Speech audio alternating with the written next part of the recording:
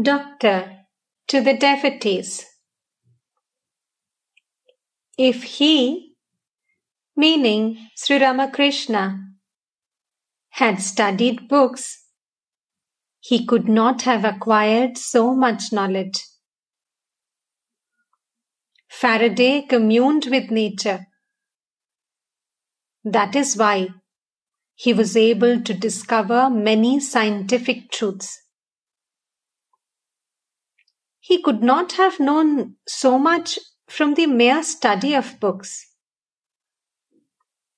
Mathematical formulas only throw the brain into confusion and bar the path of original inquiry. Master. There was a time when I lay on the ground in the Panchaboti and prayed to the Divine Mother. O Mother, reveal to me what the Karmis have realized through their ritualistic worship,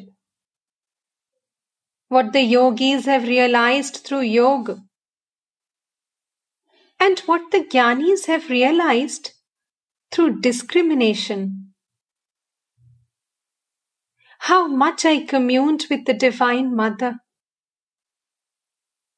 how can I describe it all?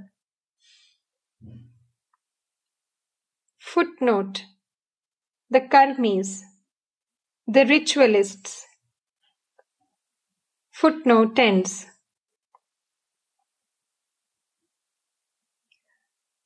Ah, what a state I passed through. Sleep left me completely. The master sang. My sleep is broken. How can I slumber any more? For now I am wide awake in the sleeplessness of yoga. O Divine Mother, made one with Thee in yoga sleep at last, my slumber I have lulled asleep for evermore. A man has come to me from a country where there is no night. Rituals and devotions have all grown profitless for me. Footnote Yoga sleep, Samadhi, which makes one appear asleep. Footnote ends. He continued, I have not read books,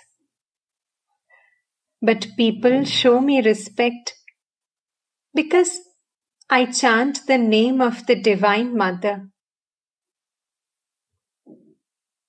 Shambhu Mallick said about me, He is a great hero without a sword or shield. Laughter.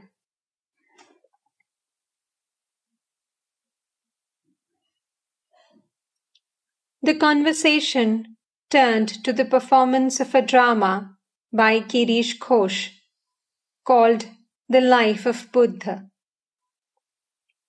The doctor had seen the play and been much pleased with it. Doctor to Girish. You are a very bad man. Must I go to the theatre every day? Master to M. What does he say?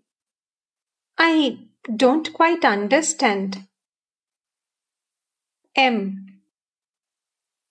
The doctor liked the play very much. Master to Ishan. Why don't you say something? Pointing to the doctor. He does not believe that God can incarnate himself in a human form. Ishan What shall I say, sir? I don't like to argue any more. Sharply. Why? Won't you say the right thing?